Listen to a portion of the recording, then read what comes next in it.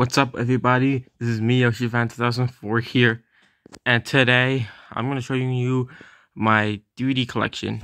Here, this is a video of it. Please enjoy. We have Wild Hogs. Here's the front, side, back, disc, but it's fan made. I brought it from the library. Next, we have Ratatouille basically I made I put the DVD out of the Blu-ray case and then made it in in the DVD.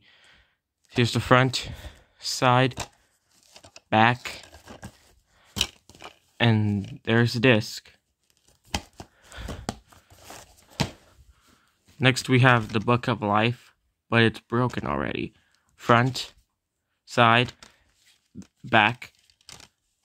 There's the disc. Next we have Queens of Comedy, front, side, back, and there's the disc. Next we have the Baby Einstein Caterpillar Quest for Santa. I haven't made it yet.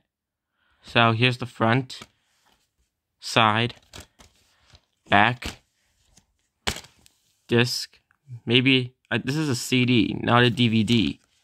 I had to make a DVD out of it. Next, we have the Hangover double feature, the Hangover, Hangover 1 and Hangover Part 2. Front, side, back. Here are two discs.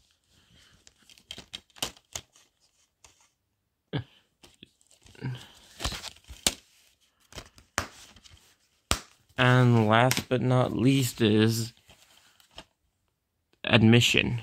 Front, side, back. And there's the disc. I don't know why the disc is orange, but who cares? Well, anyway, guys, that's my uh, DVD collection. Hope you guys like, comment, and subscribe, and peace out.